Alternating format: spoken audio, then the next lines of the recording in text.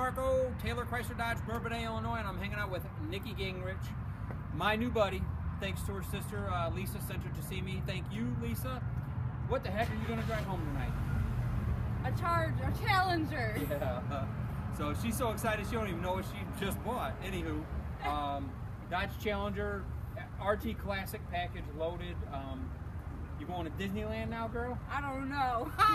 She's gonna take her home so her boyfriend and her could go out and have some fun. And I'm blessed. yeah, so did we get it done? We got it done. Thank you. Thank you. Overall, how's the deal? Awesome. How was Ray Marco? Awesome. Are you for real? Awesome. Thank you. All right. Can you show the world what she traded in? All right. My baby. All right. Cool. So from that to this, just a lateral move over from one nice car to another. Have some fun. Thank you. Boom.